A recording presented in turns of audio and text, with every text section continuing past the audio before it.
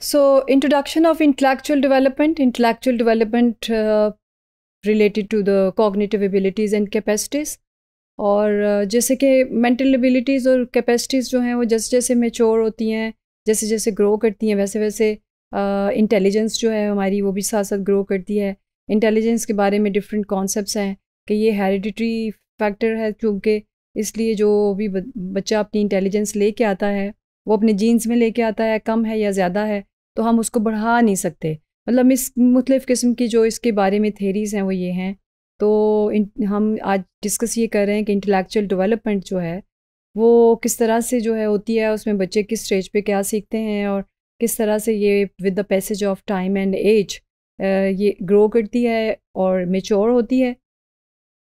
इसमें सबसे पहले जो cognition is the study of what is the cognition cognition is the study of thought process और activities of human mind which lead to the acquisition of new knowledge and skills cognition जो है, ये अब हमारी तमाम mental activities जो है, उसको रन करती है। जो आप सोचते हैं अच्छा या बुरा, और क्रिएटिव या क्रिटिकल थिंकिंग ये सारी थिंकिंग जो है, हमारी कॉग्निशन के साथ इस रिलेटेड है। तो इसलिए कॉग्निशन जो है, या कॉग्निटिव एक्टिविटीज़ जो हैं, ये उसी वक्त जो है इन्हेंस होती हैं या इंक्रीज़ होती हैं। जब आप अपनी कॉग्निटिव स्किल्स जो हैं, आप किसी ना किसी इस तरह के काम में मसरूफ़ होते हैं, जो कि आपकी दिमागी सलाहियतों को बढ़ाने वाले होते हैं।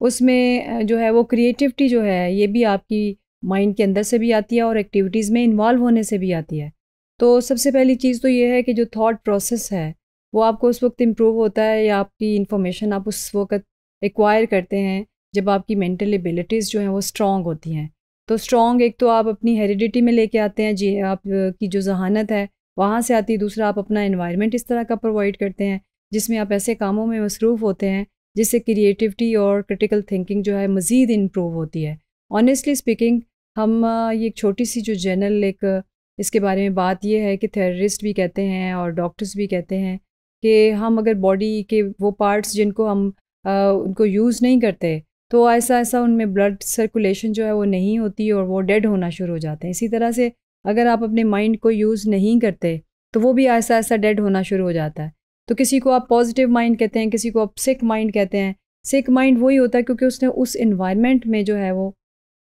वक्त गुजारा जहाँ पे साइकोलॉजिकली उसको इग्नोर किया गया या साइकोलॉजिकली उसको टॉर्चर किया गया और या उसने अपने इर्द गिर्द का जो माहौल देखा, अपने पेरेंट्स को देखा, अपने घर का माहौल देखा, वो सारे का सारा जो है वो इतना डिस्टर्बिंग था जिसकी वजह से वो सिक माइंडेडनेस की तरफ़ चला गया। तो कॉग्निशन जो है, ये डील करती है हमारी तमाम माइंड की कैपेसिटीज़ को और एबिलिटीज़ को, जिसके साथ हम सोचते हैं, हमारी सोच कैसे पैदा होती है, हमारी सोच जो है वो हमारे इन्वायरमेंट के साथ साथ जो है वो चेंज भी होती है और पैदा भी होती है और जिस किस्म के इन्वायरमेंट में हम अपना टाइम ज़्यादा स्पेंड करते हैं, उसी तरह की सोच जो है हमारी डेवलप होना शुरू हो जाती है।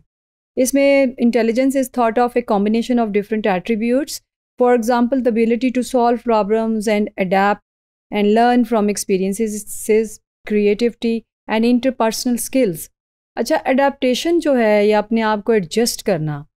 ये भी एक जहीन आदमी का काम है। हर माहौल में अपने आप को एडजस्ट कर लेना, ये हर एक इंसान के बस की बात नहीं है, क्योंकि हर माहौल जो मुख्तलिफ़ होता है, उसमें एडजस्टमेंट के लिए आपको इंटेलिजेंस की ज़रूरत होती है। इंटेलिजेंट आदमी जो है वो मौका महल की मुनासबत से एक्शन लेता है। और हमेशा बेवकूफ़ उसको हम कहते हैं जो कि मौका महल की मुनासबत से काम नहीं करता और हम हाँ किसी की लड़ाई में कूद पड़ता है। उससे ये होता है कि वो नुकसान उठाता है। तो हम इंटेलिजेंट आदमी उसको ही समझते हैं जो अपने आप को बचा के उस माहौल से जो है वो अपना काम भी कंप्लीट कर लेता है और अपने आप को किसी लड़ाई में इन्वॉल्व भी नहीं करता। तो जो बेहतरीन एडजस्टमेंट है वो भी एक जहानत की निशानी होती है। और क्रिएटिविटी ऑब्वियसली क्रिएटिविटी भी एक अलग से एक ट्रेट है, लेकिन इंटेलिजेंस के साथ इसका कोई स्ट्रॉन्ग रिलेशन तो नहीं है। लेकिन जहीन आदमी जो है, वो एक नई चीज़ इन्वेंट कर सकता है, वो नई चीज़ क्रिएट कर सकता है और अगर वो ऑलरेडी उसकी कोई क्रिएशन है तो उसमें मज़ीद जो है, वो तब्दीलियाँ ला सकता है। तो ये इंटेलिजेंस जो है, ये बड़ी इंपॉर्टेंट है इंसान को कॉम्प्रीहेंसिवली ज़िंदगी गुजारने के लिए। फिर आगे कुछ लोग समझते हैं कि intelligence is a single capacity कि जनरल इंटेलिजेंस जो हमारी पास आती है जीन से, हम सारी ज़िंदगी उसके साथ ही ज़िंदगी गुजारते हैं, उसकी मदद से हम अपनी ज़िंदगी को आसान करते हैं। कुछ लोग कहते हैं कि जहानत जो है वो एक एंटिटी नहीं है, बल्कि वो कॉम्बिनेशन ऑफ़ डिफरेंट एट्रीब्यूट्स और एबिलिटीज़ है। और एक, किसी ने कहा कि जहानत जो है वो जनरल जो है वो हम सबके पास होती है, कम या ज़्यादा एक ख़ास किस्म की जहानत भी हमारे पास है, जिसके साथ हमारे ख़ास एट्रीब्यूट्स या एप्टीट्यूड जो है वो डेवलप होते हैं और उस ख़ास जहानत की वजह से आपके इंटरेस्ट डिफरेंट हो जाते हैं और आप एक ख़ास मैदान में जाके जो है वो कार हाय नुमायाँ जो है वो सर अंजाम देते हैं। तो ये मुख्तफ़ किस्म के थेरिस्ट जो हैं, उनके मुख्तलिफ़ किस्म के व्यूज़ हैं। कोई इसको सिंगल एंटिटी कहता है, कोई इसको कॉम्बिनेशन ऑफ़ एट्रीब्यूट्स कहता है। बहरहाल जो भी जहानत की एक डेफिनेशन कंक्लूड होती है और ये जो हम बात कर रहे हैं कि इसकी डेवलपमेंट कैसे होती है तो बर्थ के साथ ही